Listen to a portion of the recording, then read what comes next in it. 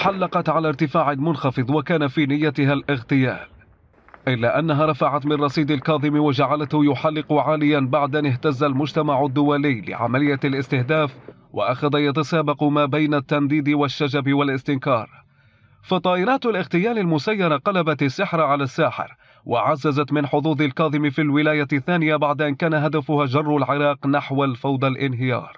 التعاطف الكبير. اللي جاء يعني السيد برهم صالح السيد الصدر اتصل بي آه، العبادي اتصل بي كل الرؤساء ورؤساء الوزراء السابقين أيضا اتصلوا بهذا التعاطف. التعاطف الشعبي يعني تروح على ال social media تجد تعاطف شعبي مع هذا الرجل. هل هو راح يستفاد من عنده لل...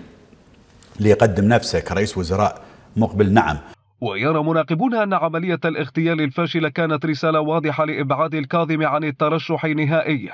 بعد أن أدركت بعض الأطراف أن رئيس الوزراء الحالي لديه حظوظ كبيرة في نيل الولاية الثانية لكن فشل العملية رفعت من الدعم الشعبي والتعاطف معه ما جعل بعض الأطراف تشكك برواية الاغتيال من الأساس.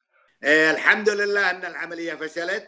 السيد الكاظم الآن يتمتع فعلا باعتقادي بتأييد شعبي.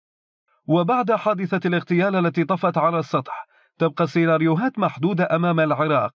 فهل ستكون عملية الاغتيال مفتاحا لتجاوز الخلافات السياسية على خلفية نتائج الانتخابات للخروج من الأزمة الحالية أم أن خيار التصعيد هو الأقرب؟